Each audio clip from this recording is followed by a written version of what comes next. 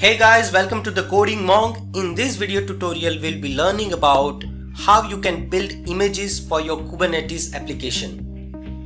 Now, when you are using Kubernetes, we need to give an image which contains all the things, how your server will be running, what kind of plugins your server have, what kind of programming language you are using in that server and where your source code is located in your server. So all these things you need to add in your image and then you need to spin up a container based on that docker image. So first we'll be creating a docker file which contains base image and then we will do other things.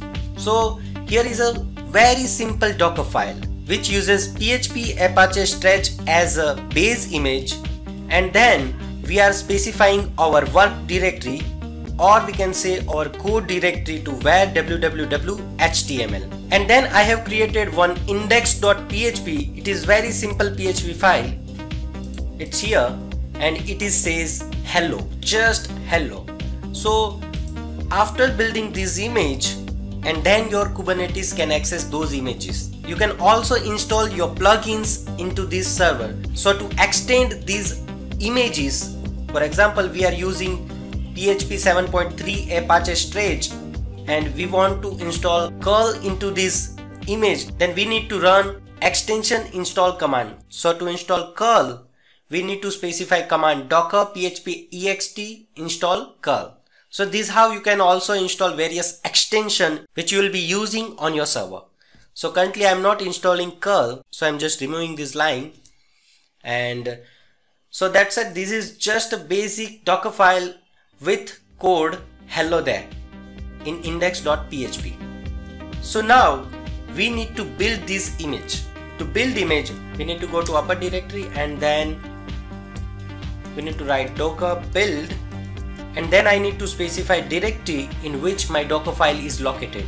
So directory is docker and then minus t for tag. If you want to specify any tag then you can specify it here. And then name of your image. I am giving it a PHP Apache and I am also giving my docker hub ID. So just enter and as you can see image is produced. Now let's run this image using docker run command locally. This is the command to run this image. Docker run minus minus name.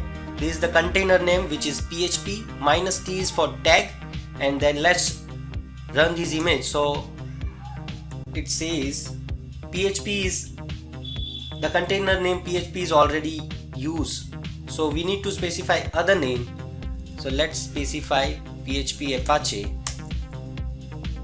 and as you can see it is running. So this is the IP address of container. You can also inspect the IP address by using docker inspect command and giving the container ID.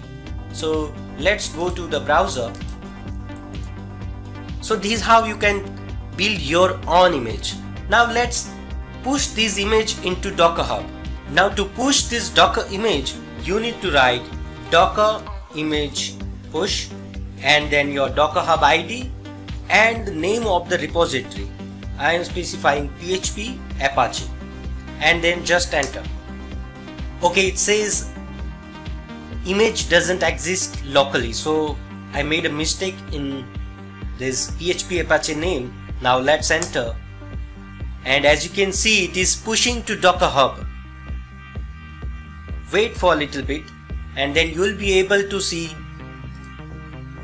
image in here in your repository.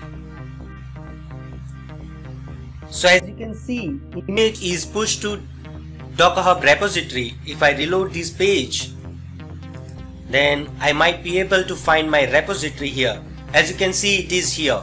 Now anybody can access this image and spin up their container using this image because this repository is public. If you want to make this repository private, then you can go to settings and then you can click on this make private button. Docker Hub provide one private repository for free. If you want more then you can subscribe to many other plans. So this is how you can build your image and upload or push to your Docker Hub account and then when you spin up your Kubernetes nodes you can use this image. You can also specify tag name which is kind of version for your image using Docker push command. So this is all about how you can build images using Docker and how you can push it to your Docker Hub and in future tutorials we'll be learning about how you can utilize these images to spin up your container on Kubernetes. So this is all about building images in Docker. Thank you very much.